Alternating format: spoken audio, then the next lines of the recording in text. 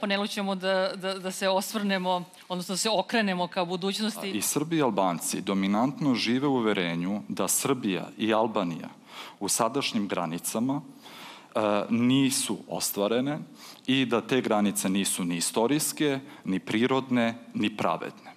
Ja lično vidim više sličnosti nego razlika između dva naroda.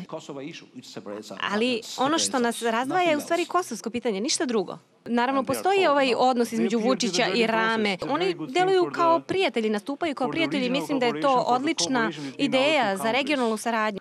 Ja želim Edi Rama da, da dođe i da kaže ovim ljudima, gledajte, ovde ste, deo ste Srbije. Šta je sa Albancima danas koji žive u unutrašnjosti koji kažu da Srbija je isto naša domovina. Mi nismo stranci. Političari treba da budu modeli i neka vrsta uzora, a to je nešto čemu treba da težimo, ali to nije dovoljno. Mi tražimo reciprocitet. Znati e, druge, e, pomagati drugima i sarađivati. Pa Srbi i Albanci žive zajedno, oni nisu neprijatelji, oni se razumeju. Ukoliko ne rešimo neke duhove prošlosti, zaista imamo vrlo ograničene rezultate. I Srbi i Albanci jedino se slažu u tom segmentu, da žele jedni drugi da uđu u Evropu i to odmah.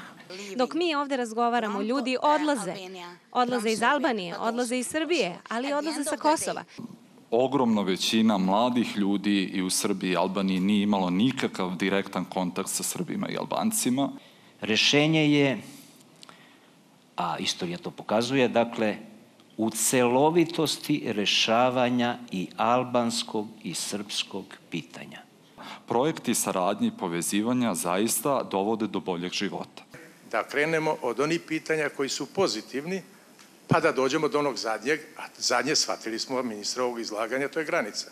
Prili kasnije oni su osuđeni na sporazum i suživot.